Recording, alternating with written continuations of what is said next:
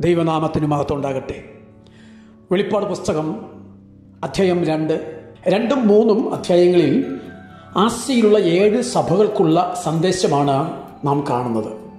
ഏഴ് എന്ന സംഖ്യ അത് പൂർണതയെ കാണിക്കുന്നതിനാൽ സഭകൾക്ക് മൊത്തത്തിലുള്ള സന്ദേശമായി ഇതിനെ നമുക്ക് മനസ്സിലാക്കാം. ഓരോ സന്ദേശത്തിലും ഏഴു കാര്യങ്ങൾ ശ്രദ്ധിക്കാവുന്നതാണ്. ആർക്കാണ് എഴുതിയത്? ആർ എഴുതി. അവൻ സകലവും അറിയുന്നു. പ്രവൃത്തികളെ വിലയിരുത്തുന്നവനാണ് എഴുത്തുകാരൻ അഥവാ അരുളി ചെയ്യുന്നവൻ. മാനസാന്തരത്തിനും ഉണർവിനും ആഹ്വാനം നൽകുന്നു. സഭകൾ ശ്രദ്ധിക്കുവാൻ ആവശ്യമുള്ള ദൂതാണ് ഇത്. ജയിക്കുന്നവന് പ്രതിഫലം വാക്തത്വം ചെയ്യുന്നു. എന്നീ സത്യങ്ങൾ ഓരോ സന്ദേശത്തിലും കാണാവുന്നതാണ്. ഒന്നാമത്തെ വാക്യത്തിൽ തന്നെ എഫ് എസ് സഭയുടെ ദൂതൻ എഴുതുക. ഏഴു നക്ഷത്രം വലങ്കയിൽ പിടിച്ചുകൊണ്ട് ഏഴ് പുൺ നിലവിളക്കുകളുടെ നടുവിൽ നടുവിൽ നടക്കുന്നവൻ. നടുവിൽ ക്രിസ്തുവിന്റെ സ്ഥാനം വേദപുസ്തകത്തിന്റെ പല ഭാഗങ്ങളിലും കാണാവുന്നതാണ്. നോക്കൂ ബാലനായ യേശു ദേവാലയത്തിൽ ഉപദേഷ്ടാക്കന്മാരുടെ നടുവിലെന്നാണ് ലൂക്കോസ് രണ്ടിന് നാൽപ്പത്തി ആറിൽ രണ്ടോ മൂന്നോ പേർ എന്റെ നാമത്തിൽ കൂടി വരുന്നിടത്തൊക്കെയും ഞാൻ അവരുടെ നടുവിലുണ്ട് എന്ന് കർത്താവ് മത്തായി പതിനെട്ടിന്റെ ഇരുപതിൽ മാത്രമല്ല ക്രൂസിൽ യേശു കള്ളന്മാരുടെ നടുവിലായിരുന്നു എന്ന് യോഹന്നാൻ പത്തൊൻപതിന്റെ പതിനെട്ട്. കൂടാതെ ഇരുപതിന്റെ പത്തൊൻപതും ഇരുപതും ഇരുപത്തിയാറും വാക്യങ്ങളിലേക്ക് നാം വരുമ്പോൾ ഉയർത്തെഴുന്നേറ്റ കർത്താവ് ശിഷ്യന്മാരുടെ നടുവിൽ നിന്നു. കർത്താവ് സഭാമധ്യത്തിലാണെന്ന സംഗീതത്തിന് ഇരുപത്തിരണ്ടിന്റെ ഇരുപത്തിരണ്ടും ഏപ്രിൽ രണ്ടിന്റെ പന്ത്രണ്ടും. യേശു നിലവിളക്കുള്ള നടുവിൽ ഇവിടെ ഈ വെളിപ്പാട് പുസ്തകം ഒന്നിന്റെ പതിമൂന്നും രണ്ടിന്റെ ഒന്നിലും കാണുന്നു. സിംഹാസനത്തിന്റെയും മൂപ്പന്മാരുടെ നടുവിൽ. അതെ യേശു വെളിപ്പാട് അഞ്ചിന്റെ ആറിൽ നമുക്ക് വേണ്ടി വായെ തുറക്കാതെ എല്ലാം സഹിച്ച കർത്താവ് ശത്രുക്കളുടെ നടുവിൽ ഏത് വിധമായിരുന്നു എന്ന് സങ്കീർത്തനം ഇരുപത്തിരണ്ടിന്റെ പന്ത്രണ്ട് മുതൽ ഇരുപത്തി ഒന്ന് വരെ വായിക്കും. അവിടെ വിവരിച്ചിട്ടുണ്ട് കാളകൾ നായ്ക്കൾ സിംഹം കാട്ടുപോത്ത് ആദിയായവയുടെ ദുഷ്പ്രകൃതിയുള്ള ശത്രുക്കളും അതുപോലെ അധികാരികളും അവനെ വളഞ്ഞപ്പോൾ യശയ അൻപത്തി മൂന്നിന്റെ ഏഴിൽ പറയുന്നത് പോലെ അവൻ വായെ തുറക്കാതെയിരുന്നു. അവൻ ഇന്ന് സഭയുടെ മധ്യത്തിലാണ്. എല്ലാ മുഖ്യസ്ഥാനങ്ങളുടെയും നടുവിലാണ്. എല്ലാ നിലയിലും ജയാളിയായി നമ്മെ വഴി നടത്തുന്ന കർത്താവിനെ നമുക്ക് വീണ് വന്ദിച്ചുകൊണ്ട് തുടർമാനമായിട്ട് അധ്യായങ്ങളിലേക്ക് നമുക്ക് പ്രവേശിക്കാം. തുടർന്നുള്ള ഭാഗം യോഹന ഇരുപതിന്റെ പത്തൊമ്പതാമത്തെ വാക്യത്തോടുള്ള ബന്ധത്തിൽ വിശദീകരിച്ച് കൂടി കേട്ടുകൊണ്ട് നമുക്ക് ആദ്യ സ്നേഹം വിട്ടുകളഞ്ഞ സഭ എന്ന നിലയിൽ ഈ രണ്ടാം അധ്യായത്തിലെ ഒന്നാമത്തെ സഭയെക്കുറിച്ച് നമുക്ക് ചിന്തിക്കാം. ഏഴ് വരെയുള്ള വാക്യങ്ങളിലേക്ക് നാം വരുമ്പോൾ ആസിയയിലെ സഭകൾ ഉണ്ടായ ചരിത്രമാണ് നാം പ്രവൃത്തികൾ പത്തൊൻപത് ഇരുപത് അധ്യായങ്ങളിൽ നാം കണ്ടിരുന്നത്. ആസിയയിലെ പ്രധാനപ്പെട്ട ഒരു പട്ടണമായിരുന്നു എഫസോസ്. അർത്തമിസ് മഹാദേവിയുടെ ക്ഷേത്രം അവിടെ ഉണ്ടായിരുന്നു. അസാൻമാർഗികതയും ക്ഷുദ്രപ്രയോഗവും കൊടികുത്തി വാണിരുന്ന സ്ഥലമായിരുന്നു അത്. സുവിശേഷം അവിടെ പ്രസംഗിക്കപ്പെട്ടപ്പോൾ പാപികൾ രക്ഷിക്കപ്പെടുകയും സഭ ഉണ്ടാകുകയും ചെയ്തു. സഭകളുടെ മധ്യത്തിൽ നടക്കുകയും അവയെ തന്റെ വലങ്കയിൽ വഹിക്കുകയും ചെയ്യുന്നവനാണ് ക്രിസ്തു. അത് നമ്മുടെ സുരക്ഷിതത്വത്തെയും സംരക്ഷത്വത്തെയും കാണിക്കുന്നു. കർത്താവ് സഭകളിൽ പ്രവർത്തിച്ചുകൊണ്ടിരിക്കുന്നു. അവന്റെ സാന്നിധ്യം എവിടെയുമുണ്ട്? അവനും അറിഞ്ഞിരിക്കുന്ന ഒന്നും തന്നെയില്ല. അവൻ നമ്മെ മുഴുവനായി അറിയുന്നു. സഭയുടെ പ്രവൃത്തിയും പ്രയത്നവും സഹിഷ്ണുതയും കർത്താവ് അറിഞ്ഞ് ശ്ലാഘിക്കുന്നവനാണ് അതിന്റെ പിൻപിലുള്ള കർത്താവിനോടുള്ള സ്നേഹവും ആത്മാർത്ഥതയും കർത്താവിനറിയാം. നമ്മുടെ പ്രവൃത്തികൾ വിശ്വാസത്തിന്റെ പ്രവൃത്തികളും പ്രയത്നം സ്നേഹത്തിന്റെ പ്രയത്നങ്ങളും ആയിരിക്കണം. അതുപോലെ പ്രത്യാശ അത് സ്ഥിരതയുള്ളതായിരിക്കണം. എഫസോസ്യ സഭയുടെ ന്യൂനവശവും കർത്തവ് ചൂണ്ടിക്കാണിക്കുന്നുണ്ട്. അവർ ആദ്യ സ്നേഹം വിട്ടുകളഞ്ഞു. ഒരിക്കൽ അവർ വിഗ്രഹങ്ങളെ സ്നേഹിക്കുകയും സേവിക്കുകയും ചെയ്തവരാണ്. സുവിശേഷം കേട്ടതിന്റെ ഫലമായി അവരുടെ സ്നേഹം ക്രിസ്തുവിൽ ആയിത്തീർന്നു. ഇപ്പോൾ അവരുടെ പഴയ പരിചയങ്ങൾ അത് ഉപേക്ഷിച്ചു. ദൈവവചനത്തെയും ദൈവമക്കളെയും സ്നേഹിക്കുവാൻ തുടങ്ങിയിരിക്കുന്നു. അതിൽ സന്തോഷവും സംതൃപ്തിയും കണ്ടെത്തിയിരുന്നു എന്നാൽ അവർ മനഃപൂർവം ആ സ്നേഹം ഉപേക്ഷിച്ചു. എത്ര ദുഃഖകരമായ ഒരു ആത്മിക സ്ഥിതിയാണ് ഇതെന്ന് ഓർത്തു നോക്കുക. വെളിപ്പാട് രണ്ടാം അധ്യായം. ഏഴ് സഭകൾക്കുള്ള ദൂതുകളുടെ പ്രത്യേകതയാണ് നാം ചിന്തിച്ചുകൊണ്ടിരിക്കുന്നത്. അതിൽ എഫ് എസ് ഒ സഭയിലേക്ക് നാം പ്രവേശിച്ചു. എന്നാൽ ഈ പ്രത്യേകതകൾ കൂടി ഒന്ന് കേട്ട ശേഷം നമുക്ക് തുടർമാനമായിട്ട് എഫ് എസ് സഭയുടെ മറ്റുള്ള വിഷയങ്ങളിലേക്ക് കടക്കാം. ഇവിടെ ഏഴ് സഭകൾക്കുള്ള സന്ദേശങ്ങൾ സഭ കാലയളവിനെ മുഴുവനും അത് പ്രതികരിക്കുകയാണ്. ഏഷ്യ മൈനറിലെ അനേക സഭകളെ പ്രതികരിച്ച് ഈ ഏഴ് സഭകളെക്കുറിച്ച് പറഞ്ഞിരിക്കുന്നു. എന്നല്ലാതെ അവിടെ വേറെ സഭകൾ ഇല്ലായിരുന്നു എന്ന് കരുതരുത്. ഗലാത്തിയ കൊലോസിയ മിലത്തോസ് പൊന്തോസ് ആദിയായ അനേകം സ്ഥലങ്ങളിലും അന്ന് സഭകൾ ഉണ്ടായിരുന്നു. ഈ സ്ഥലങ്ങളും ആസ്യ അതായത് ഏഷ്യ മൈനറിൽ ഉൾപ്പെടുന്നതാണ്. ഓരോ സഭയോടുമുള്ള ദൂതുകളിൽ അത് ആ സഭയോട് മാത്രം ബന്ധപ്പെട്ട് നിൽക്കുന്നത് എന്ന് ചിന്തിക്കരുത്. ഓരോന്നിലും ആത്മാവ് സഭയോട് പറയുന്ന വാചകത്തിൽ തന്നെ അത് വ്യക്തമാണ്. എല്ലാ സഭകളോടും കൂടിയാണ് ഇത് പറഞ്ഞിരിക്കുന്നത്. അതിന്റെ ആശയവും അത് തന്നെയാണ്. ഓരോ സഭയോടും ബുദ്ധി ഉപദേശങ്ങളും വാഗ്ദാനങ്ങളും നൽകുന്നത് വർത്തമാനകാല പ്രയോഗത്തിലാണ്. അതാത് പ്രാദേശിക സഭയെ മാത്രമേ അത് ബാധിച്ചിരുന്നുള്ളൂ എന്ന് വരികിൽ ജയിച്ചവർക്ക് എന്ന നിലയിൽ ഭൂതകാലത്തിൽ പറയുമായിരുന്നു. സഭാ കാലയളവിനെ മുഴുവൻ പ്രതികരിക്കുന്നത് കൊണ്ടാണ് ഇങ്ങനെ വർത്തമാനകാല പ്രയോഗത്തിൽ ഇത് പറഞ്ഞിരിക്കുന്നത്. ആത്മാവ് സഭകളോട് പറയുന്നത് എന്തെന്ന് ചെവിയുള്ളവൻ കേൾക്കട്ടെ എന്ന് ഏഴ് സഭകളോടും ഒരുപോലെ പറയുന്നത് സഭയോട് എന്നല്ല സഭകളോട് എന്നാണ്. അതായത് ഈ സന്ദേശങ്ങൾ എല്ലാ കാലത്തുമുള്ള എല്ലാ സഭകളോടും ആണ് എന്ന് സാരം. ആത്മാവ് സഭ കാലയളവ് മുഴുവൻ സഭകളെ ഭരിച്ചുകൊണ്ടിരിക്കും എന്ന് ആത്മാവ് സഭകളോട് പറയുന്നത് എന്ന പ്രയോഗം ഇവിടെ വ്യക്തമാക്കുന്നു. സഭയുടെ അധികാരി അതായത് ഇതിന്റെ വികാരി മനുഷ്യനല്ല അത് പരിശുദ്ധാത്മാവാണ് എന്ന് ഇത് നമ്മെ പഠിപ്പിക്കുന്നു. ഓരോ സഭയോടും ഞാൻ നിന്റെ പ്രവൃത്തി അറിയുന്നു എന്ന് കർത്താവ് പറയുന്നുണ്ട്. സഭാനാഥൻ ഓരോരുത്തരെ കുറിച്ചും അറിഞ്ഞുകൊണ്ടിരിക്കുന്നു എന്ന ആ ചിന്ത അത് വിശ്വാസ ജീവിതത്തെ അത് ഭരിക്കണം.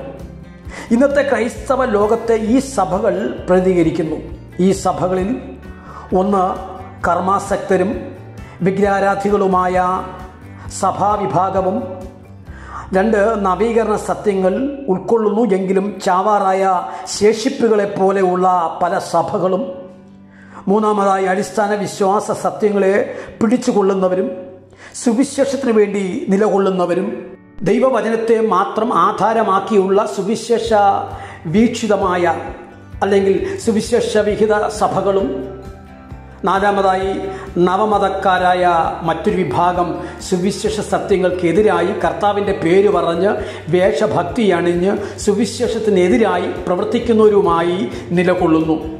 ഇതൊക്കെയാണ് ഏഴ് സഭകൾക്കുള്ള ദൂതുകളുടെ പ്രത്യേകത എന്ന് നാം ഇതിൽ കാണുന്നത്. കർത്താവ് ആദ്യ സഭയ്ക്ക് നൽകുന്ന ആഹ്വാനം വളരെ ശ്രദ്ധേയമാണ്. ഏതിൽ നിന്ന് വീണിരിക്കുന്നു എന്ന് ഓർത്ത് മാനസാന്തരപ്പെടുക. ദൈവമക്കൾ അവിടെ ആത്മീക നിലയെക്കുറിച്ച് ബോധവാന്മാർ ആയിരിക്കണമെന്ന് സാരം. അവിടെ നിജസ്ഥിതി മനസ്സിലാക്കണം. അപ്പന്റെ വീട്ടിലെ സന്തോഷത്തെക്കുറിച്ച് ഓർക്കണം. അങ്ങനെ ഭവനത്തിലേക്ക് അനുതാപ ഹൃദയത്തോടെ മടങ്ങി വരണം. അല്ലാത്ത പക്ഷം അവിടെ നിലവിളക്ക് മാറ്റപ്പെടും. നിലവിളക്ക് പ്രകാശം പരത്തുവാനുള്ളതായിരുന്നു. ക്രിസ്തുവിന്റെ സാന്നിധ്യവും സഹായവും നഷ്ടപ്പെട്ട സഭകളുടെ സ്ഥിതി അത് എത്ര ദുഃഖകരമെന്ന് ഓർത്തിയാട്ടെ. ക്രിസ്തുവിന്റെ വചനത്തിന് പ്രാധാന്യം നൽകാതെ മാനുഷിക ആലോചനകൾക്ക് അടിമപ്പെടുന്ന സഭകൾ അത് ക്രിസ്തുവിനെ പ്രതിഫലിപ്പിക്കുന്നില്ല. ഇന്ന് പല സഭകളും ക്രിസ്തുവിന് മഹത്വം നൽകാത്ത മാനുഷിക സ്ഥാപനങ്ങളായി തീർന്നിരിക്കുന്നു എന്നുള്ളത് ഒരു ദുഃഖ സത്യമാകുന്നു. നമുക്കങ്ങനെ സംഭവിക്കാതിരിക്കുവാൻ കർത്താവിന്റെ സ്നേഹത്തിലേക്ക് നമുക്ക് മടങ്ങി വരാം. കർത്താവിന്റെ ആഹ്വാനം സർവാത്മന സ്വീകരിക്കാം. കർത്താവ് സഭയോട് കൽപ്പിക്കുന്നത് അതനുസരിക്കണം. സഭകൾ ഉപദേശവും കൽപ്പനയും അത് പുറപ്പെടുവിക്കുന്നത് ദൈവവചനത്തിന് നിരക്കുന്നതല്ല. നിക്കോലവിയുടെ നടപ്പ് അവർ പകച്ചു എന്ന് കർത്താവ് അവരെക്കുറിച്ച് ശ്ലാഘിക്കുന്നു. എന്താണത്? കൃത്യമായി പറയുവാൻ പ്രയാസമുള്ള ഒന്നാണത്. ഈ വാക്കിന്റെ അർത്ഥം ജനത്തെ വശീകരിക്കുക കീഴടക്കുക എന്നൊക്കെ തന്നെയാണെന്ന് അഭിപ്രായപ്പെടുന്നുണ്ട്. നിക്കോലവിയർ അവരുടെ ഉപദേശം മൂലം വിശ്വാസികളെ വശീകരിക്കുന്ന ദുരു ഉപദേഷ്ടാക്കളായിരുന്നു. അവരുടെ ഉപദേശവും ജീവിതവും തമ്മിൽ ഒരു പൊരുത്തവുമില്ല. അവർ ക്രിസ്തുവിന്റെ ഉപദേശത്തിൽ നിലനിൽക്കാതെ അതിന് കടന്നു പോകുന്നവരാണ് ഈ ദുരിതാഷ്ടാക്കളെക്കുറിച്ച് മുന്നറിയിപ്പ് നൽകിക്കൊണ്ടിരിക്കുന്നു. കർത്താവരെ പകയ്ക്കുന്നുമുണ്ട്. അവരോട് നാം സംസർഗം പുലർത്തുന്നവരാകരുതെന്ന് ഇവിടെ ആഹ്വാനം തരുന്നു. ഒടുവിൽ പറയുകയാണ് ജയിക്കുന്നവന് ഞാൻ ദൈവത്തിന്റെ പ്രതീക്ഷയിലുള്ള ജീവവൃക്ഷത്തിന്റെ ഫലം തിന്മാൻ കൊടുക്കും എന്നുള്ള വാഗ്ദത്വവും കർത്താവ് നൽകുന്നു. പ്രതീസ എന്ന വാക്കിന്റെ അർത്ഥം തോട്ടം എന്നാണ്. പാപം ചെയ്ത മനുഷ്യൻ പ്രതീസ നഷ്ടപ്പെട്ടവനായി. ക്രിസ്തുവിനുള്ള വിശ്വാസം മൂലം അവൻ പ്രതീസയുടെ അനുഭവമുള്ളവനായി മാറുന്നു. ക്രിസ്തുവിൽ കൂടി നമുക്ക് ലഭിക്കുന്ന നിത്യജീവനെയാണ് ഇത് കാണിക്കുന്നത്. പുതിയ എരിശിലെയും ദൈവത്തിന്റെ നിവാസമായ പ്രതീസയാണ് അവിടെ ജീവവൃക്ഷമുണ്ട്. അവിടെ വിജയിക്കുന്നവർക്ക് ജീവവൃക്ഷത്തിന്റെ ഫലം തിന്മാൻ കൊടുക്കുമെന്ന് പറയുന്നു. ദൈവജനത്തിന് ലഭിക്കുവാൻ പോകുന്ന ആത്മിക ജീവന്റെ സമൃദ്ധിയാണ് ഇത് കാണിക്കുന്നത്. അതിന്റെ അനുഭവക്കാരാകുവാൻ കർത്താവ് നമ്മെ സഹായിക്കട്ടെ എന്ന് പറഞ്ഞുകൊണ്ട് എഫ് എസ് ഒ സഭയ്ക്കുള്ള ദൂതിനെ ഈ നിലയിൽ വ്യാഖ്യാനിക്കുകയാണ്. ഒന്നു മുതൽ ഏഴ് വരെ. അന്ന് ഏഷ്യ മൈനറിൽ നിലവിലുണ്ടായിരുന്ന ഏഴ് സഭകൾക്കാണ് കർത്താവ് ദൂത് നൽകുന്നത്. എഫസോസ് എന്ന വാക്കിന് അയഞ്ഞത് എന്നാണ് അർത്ഥം. ഈ സഭ ആദ്യ സ്നേഹം വിട്ടുകളഞ്ഞ ഒരു അയഞ്ഞ സഭയായി കർത്താവ് ഇവിടെ കാണുന്നു. ആസ്യയിലെ ഒരു വൺ നഗരമായിരുന്നു എഫസോസ്. തിന്മയിലും ഈ നഗരം മുമ്പിലായിരുന്നു. അങ്ങനെ ആസ്യയിലെ ഏഴ് സ്ഥലങ്ങളിൽ ഏറ്റവും പ്രധാനപ്പെട്ടത് എന്ന സ്ഥാനം എഫസോസിനായിരുന്നു. ഈ സഭ സ്ഥാപിച്ച പൗലൂസ് ഇതിന് സംഭവിക്കാൻ പോകുന്ന അനർത്ഥത്തെക്കുറിച്ച് പ്രവചിച്ചിട്ടുണ്ട് അപ്പോസ്തല പ്രവൃത്തികൾ ഇരുപതിന്റെ ഇരുപത്തി ഒൻപതും മുപ്പതും വാക്യങ്ങളിൽ. ഇവിടെ മൂന്ന് വർഷം താമസിച്ച് കണ്ണുനീർ വാർത്തുകൊണ്ട് ബുദ്ധി പറഞ്ഞുകൊടുത്ത സഭയാണ് ഇത്. അപ്പോസ്തല പ്രവൃത്തി ഇരുപതാം അധ്യായം മുപ്പതാമത്തെ വാക്യം കൂടി നോക്കൂ. നാല് വർഷത്തിന് ശേഷം പൗലൂസ് എഫ് എസ് ലേഖനം എഴുതി.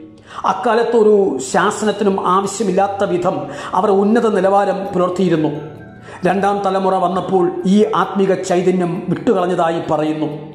അതുകൊണ്ട് ഇപ്പോൾ യോഹന്നാൻ അപ്പോസ്റ്റലൻ എർക്ക് ഗൗരവത്തോടെ ശാസനാരൂപത്തിൽ ഒരു രണ്ടാം ലേഖനം എഴുതുന്നു. പൗലോസിന്റെ പ്രവചനത്തിലെ കൊടിയ ചെന്നായ്ക്കൽ ഇവിടെ പറയുന്ന നിക്കോലവ്യരാണെന്ന് വിചാരിക്കുന്നു. നിക്കോലവ്യ മതസ്ഥാപകനായ നിക്കോലോവോസ് അന്ത്യോക്യക്കാരനായ ഒരു യഹൂദ മതാനുസാരിയായിരുന്നു. നിക്കോലാലിറ്റോയി എന്ന ഗ്രീക്കോ പദത്തിന് ഐമേനിയുടെ മേൽ അധികാരം നടത്തുന്നവൻ എന്നാണ് അർത്ഥം. അതായത് ജനത്തെ കീഴ്പ്പെടുത്തി ഭരിക്കുന്നവൻ എന്നർത്ഥം. സഭാനോസിനോടൊപ്പം മേശകളിൽ ശുശ്രൂഷിക്കുവാൻ തിരഞ്ഞെടുക്കപ്പെട്ട ഏഴ് പേരിൽ ഒരുവന്റെ അതായത് അപ്പോസ്തപ്രവൃത്തി അഞ്ചിൽ കാണുന്ന പ്രകാരം ആ ഒരുവന്റെ പേരും ഇതാകയാൽ അവനായിരിക്കാം ഇതിന്റെ സ്ഥാപകൻ എന്ന് ചിന്തിക്കുന്നവരുമുണ്ട്. എന്നാൽ അത് ശരിയാകാനിടയില്ല. യഹൂദന്മാരിൽ ഉണ്ടായിരുന്ന പുരോഹിതന്മാർ ലേബ്യർ സാമാന്യ ജനം എന്നീ സ്ഥാനഭേദങ്ങൾ ക്രിസ്തീയ സഭയിലും നടപ്പാക്കുവാൻ നിക്കോലവ്യർ ശ്രമിച്ചു. ഒരേ നിലവാരത്തിലിരുന്ന സഹോദര സംഘത്തെ അധികാരികളെന്നും ഐമേനികളെന്നും ഇവർ രണ്ടായി തിരിച്ചു. ഇതുമൂലം സഭയിൽ ഉച്ചനിജത്വങ്ങൾ ഉടലെടുത്തു. എന്നാൽ സഭ അത് അംഗീകരിച്ചില്ല. അത് അവരുടെ നല്ല വശമായിട്ട് കർത്താവ് എടുത്തു പറയുന്നുണ്ട് ഇവിടെ. ഇന്നത്തെ സഭകൾക്കും ഇതൊരു മുന്നറിയിപ്പാണ്. ഈ സഭയ്ക്കുള്ള ദൂതിൽ അവരുടെ ഏഴ് ഗുണങ്ങൾ കർത്താവ് രണ്ടും മൂന്നും വാക്യങ്ങളിൽ എടുത്തു പറയുന്നുണ്ട്. എങ്കിലും ആദ്യ സ്നേഹം വിട്ടുകളഞ്ഞു എന്നൊരു കുറ്റവും ചേർത്തു പറയുന്നുണ്ട്. അത് കർത്താവിനോടുള്ള സ്നേഹവും വിശ്വാസിയോടുള്ള സ്നേഹവും ദൈവവചനത്തോടുള്ള സ്നേഹവുമാണ്. ഇവ വിട്ടുകളഞ്ഞ് എന്നത് ഗൗരവമുള്ളതാണ്.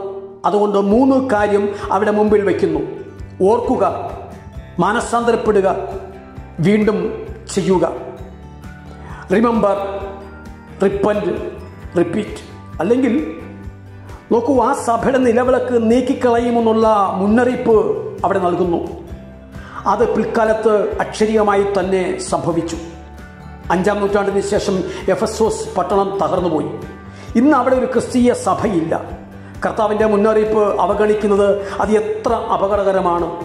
എ ഡി എഴുപത് മുതൽ നൂറ്റി എഴുപത് വരെയുള്ള വർഷങ്ങൾ എഫസോസ് സഭാ കാലയളവായി പരിഗണിക്കപ്പെടുന്നു. എങ്കിലും എല്ലാ കാലയളവിലും ഈ നിലവാരത്തിലുള്ള സഭകളും ഉണ്ടായിരിക്കും എന്ന് ഓർപ്പിക്കട്ടെ. മത്തായി എഴുതിയ സുവിശേഷം പതിമൂന്നാം അധ്യായത്തിന്റെ ഒന്ന് മുതൽ ഇരുപത്തി മൂന്ന് വരെ വായിക്കുന്ന വിതയ്ക്കുന്നവനെ കുറിച്ചുള്ള ഉപമയെ ഈ സഭാ കാലഘട്ടം പ്രതികരിക്കുന്നു എന്ന് ഓർപ്പിക്കുന്നു. രണ്ടാമത്തെ സഭയ്ക്കുള്ള ദൂതാണ് സമൂർണയിലെ സഭയ്ക്കുള്ള ദൂത്. എട്ട് മുതൽ പതിനൊന്ന് വരെ. സ്മുർണ എന്ന പട്ടണം ആസിയയിലെ ഒരു മനോഹര പട്ടണമായിരുന്നു. സുവിശേഷം കേട്ടതിന്റെ ഫലമായിട്ട് അവിടെ ഒരു സഭയുണ്ടായി. വളരെ കഷ്ടതയിലൂടെ കടന്നുപോയ ഒരു സഭയായിരുന്നു ഈ സ്മുർണ സഭ. ഇത് അവർക്കുള്ള സന്ദേശത്തിൽ കർത്താവ് മരണത്തെ ജയിച്ച രക്ഷിതാവാകുന്നു എന്ന് വിശേഷിപ്പിക്കുന്നു. അതുകൊണ്ട് അവൻ കഷ്ടതകളിൽ സഹായിപ്പാൻ കഴിവുള്ളവനാണ്. കർത്താവ് അവരുടെ കഷ്ടത അറിയുന്നവനാണ്. പക്ഷേ കഷ്ടതയുടെ മധ്യത്തിലും അവർ ധനികരാണ്. ലോകം കാണുന്നതും കർത്താവ് കാണുന്നതും തമ്മിലുള്ള വ്യത്യാസം ഇവിടെ കാണിക്കുന്നു. കഷ്ടതയിൽ സന്തോഷിക്കുന്ന ജീവിതമാണ് യഥാർത്ഥ ക്രിസ്തീയ ജീവിതമെന്ന് രണ്ട് കൊരിന്തിയർ ആറിന്റെ പത്തിൽ. ഈ സ്മൊർണയിലെ സഭ സാത്താന്റെ പള്ളിക്കാരുടെ ദൂഷണം സഹിച്ചിരുന്നു. ദൈവമക്കളെക്കുറിച്ച് ലോകം ദൂഷണം പറയുമ്പോൾ അത്ഭുതപ്പെടരുത്. അത് സാത്താന്റെ സ്വാധീനതയിൽ കഴിയുന്നു. ദൂഷണം പറയുന്നത് സാത്താന്റെ സ്വഭാവമാകുന്നു. ദൈവജനത്തെ ദുഷിക്കുന്നവർക്കുള്ള പേര് സാത്താന്റെ പള്ളിക്കാർ എന്നാണ്. ദൈവമക്കൾ സഹിക്കുവാനുള്ള കഷ്ടതയും ദാരിദ്ര്യവും ദൂഷണവും കർത്താവ് അറിയുന്നു എന്ന് ഓർക്കുക. എന്നാൽ കർത്താവ് അതിനെ ജയിച്ചവനാണ്. കഷ്ടതയുടെ ആക്കം കർത്താവ് നിയന്ത്രിക്കുന്നതനുസരിച്ച് സംഭവിക്കുകയുള്ളൂ. പത്തു ദിവസം സഹിക്കേണ്ടി വരുന്ന പരീക്ഷ അനേക വർഷങ്ങളിലെ വിജയത്തിനുള്ള ഒരുക്കം മാത്രമായിരിക്കും. നമുക്ക് സഹിക്കാവുന്നതിൽ കൂടുതൽ നാം പരീക്ഷിക്കപ്പെടുകയില്ല എന്ന് ഓർക്കുക. നോക്കൂ ഒന്നു കോരിന്തിയർ പത്തിന്റെ പതിമൂന്ന് കൂടി. പരീക്ഷയോട് കൂടെ തന്നെ നീക്കുപോക്കും നൽകുന്ന ഒരു രക്ഷിതാവാണ് നമ്മുടെ ദൈവം. കഷ്ടതകളിൽ ദൈവജനം മരണപര്യന്തം വിശ്വസ്തരായിരിക്കണം എന്നാൽ അവർക്ക് ജീവകിരീടം പ്രാപിക്കാൻ കഴിയും. മരണപര്യന്തം എന്നതുകൊണ്ടുള്ള ആശയം വിശ്വാസത്തിനു വേണ്ടി മരിക്കേണ്ടി വന്നാലും കർത്താവിലുള്ള ആശ്രയവും വിശ്വാസവും അവർക്കെന്നും ഉണ്ടായിരിക്കണം എന്നത്രേ. പിശാചിന് ദേഹത്തെ മാത്രമേ കൊല്ലുവാൻ കഴിയുകയുള്ളൂ. എന്നാൽ ദേഹിയെ രക്ഷിക്കുവാൻ ശക്തിയുള്ളവനാണ് ഉയർത്തെഴുന്നേറ്റവനായ നമ്മുടെ രക്ഷിതാവ്. അവർ നിത്യജീവന്റെ അവകാശികൾ ആകും എന്ന് ഓർക്കുക.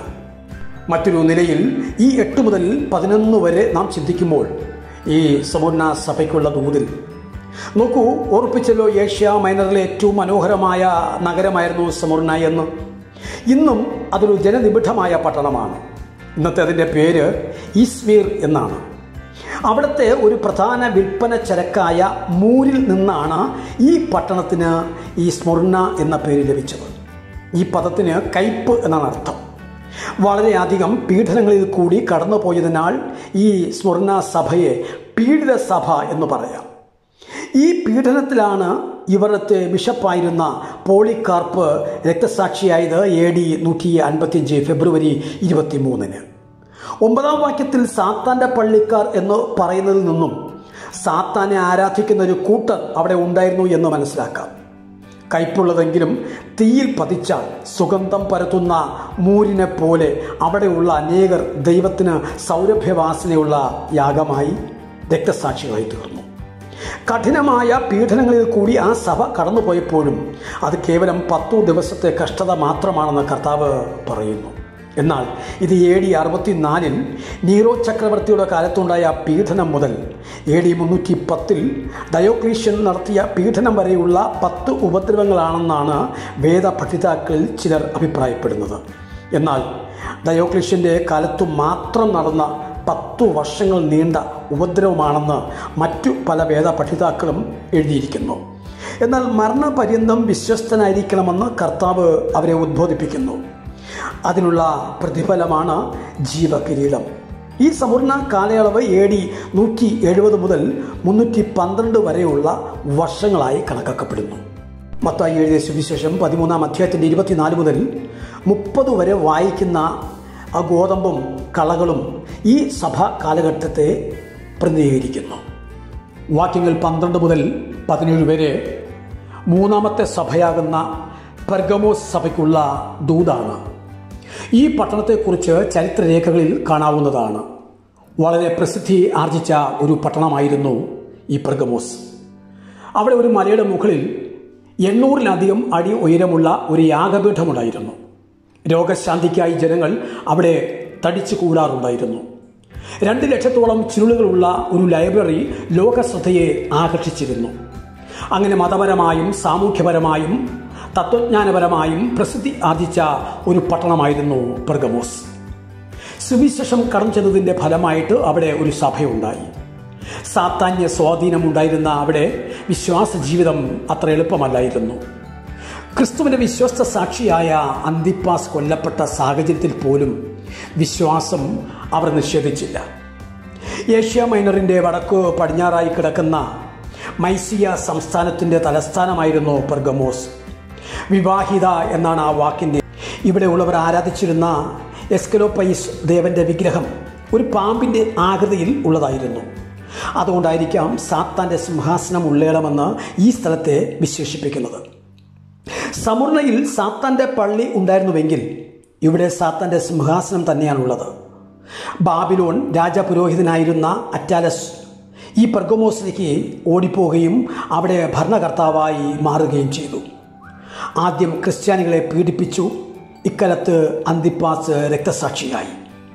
അവന്റെ അന്ത്യത്തെക്കുറിച്ച് തൃത്തുല്യൻ രേഖപ്പെടുത്തിയിരിക്കുന്നത് താമ്രം കൊണ്ടുണ്ടാക്കിയ ഒരു കാളയുടെ ഉള്ളിലിട്ട് ഈ അന്തിപ്പാസിനെ സാവകാശമായി പൊരിച്ചു കൊന്നു എന്നാണ്. മാത്രമല്ല നമുക്ക് ഈ കോൺസ്റ്റന്റീനും സഭയെക്കുറിച്ച് കൂടി അറിയണം. എന്നാൽ സാത്താൻ വളരെ വേഗം ഈ പീഡന നയം മാറ്റുകയും റോമൻ ഭരണാധികാരിയായിരുന്ന കുസ്തന്തിനോസ് ചക്രവർത്തി അതായത് കോൺസ്റ്റന്റിയൻ ചക്രവർത്തിയെ ക്രിസ്തുമതം അദ്ദേഹം സ്വീകരിച്ചതോടെ അതായത് ഡി മുന്നൂറ്റി പതിനാറിൽ അതിനെ രാജകീയ മതമായി ഉയർത്തുകയുണ്ടായി.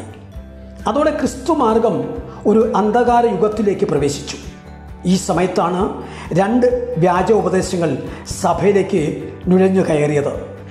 അവയിൽ ഒന്ന് ബിലയാമിന്റെ ഉപദേശവും രണ്ട് പത്രോസ് രണ്ടാമധ്യം പതിനഞ്ചും പതിനാറും വാക്യങ്ങളും സംഖ്യാപുസ്തകം ഇരുപത്തി രണ്ടാം അധ്യായം അഞ്ചും അതുപോലെ ഇരുപത്തിരണ്ടും ഇരുപത്തിനാലാം അധ്യായം പതിനാലും ഈ ഭാഗങ്ങളുടെ വിശദീകരണം നിങ്ങൾ കേൾക്കുക. മറ്റേത് ഇനിയുള്ളത് അത് നിക്കോൽ ലവിയുടെ ഉപദേശമായിരുന്നു. നിക്കോൽ ലവിയുടെ ഉപദേശം അതിന്റെ അത്യുച്ച കോടിയിലെത്തിയത് എ ഡി മുന്നൂറ്റി ഇരുപത്തിയഞ്ചിൽ കൂടിയ ഒന്നാമത്തെ നിക്കിയ സുനഹദോസിൽ വെച്ചായിരുന്നു. അവിടെ വെച്ച് പട്ടക്കാർ ഐമേനികൾ എന്നുള്ള വ്യത്യാസം സ്ഥിരപ്പെടുത്തുകയും റോമ അന്ത്യോക്യ അലക്സാണ്ട്രിയ എന്നീ സ്ഥലങ്ങളിലെ ബിഷപ്പുമാരെ പാത്രിയാർക്കിസ്റ്റുമാരായിട്ട് ഉയർത്തുകയും ചെയ്തു. ഈ പരിവർത്തനങ്ങളോടുകൂടെ തന്നെ ബിലയാമിന്റെ ഉപദേശം സഭയെ സാൻമാർഗിക അധപതനത്തിന്റെ താവളമാക്കി തീർക്കുകയും ചെയ്തു. പള്ളികളെ വളരെയേറെ മോടി പിടിപ്പിച്ചു. പട്ടക്കാട് ഉപജീവനത്തിനായി പള്ളികൾക്ക് വേണ്ടുവോളം സ്ഥാപന സ്വത്ത് ചക്രവർത്തി അനുവദിച്ചു കൊടുത്തു.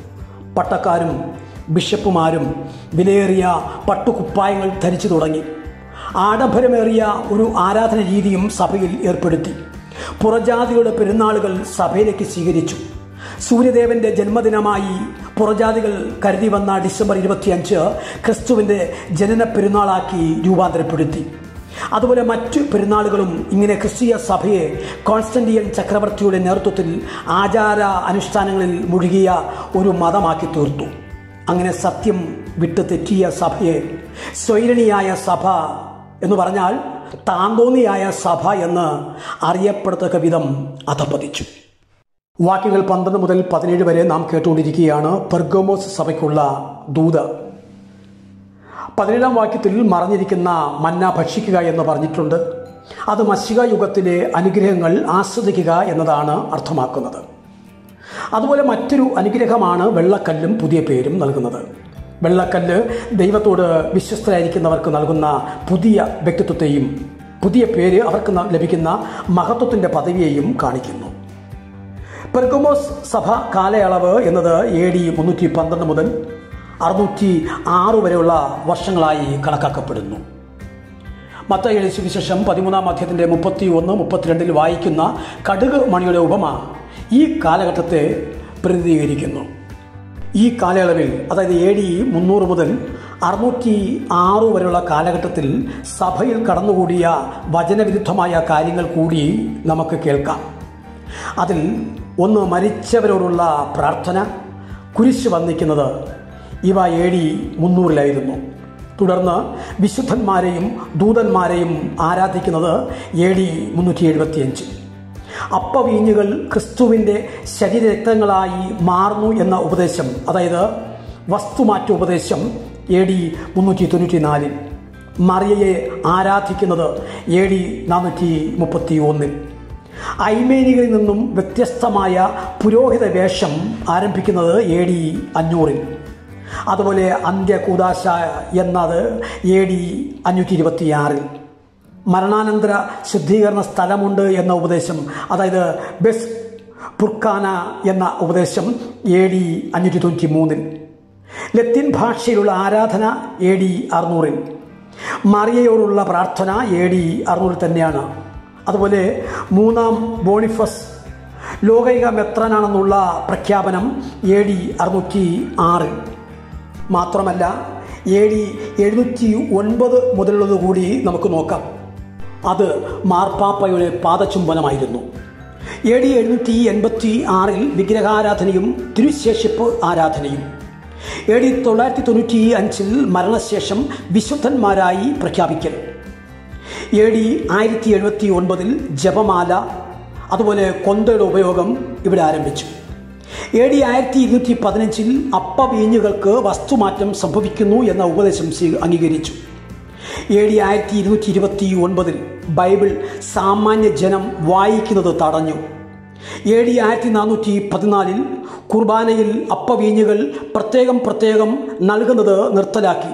അതായത് അപ്പം വീഞ്ഞിൽ മുക്കി കൊടുക്കുവാൻ തുടങ്ങി എന്നർത്ഥം.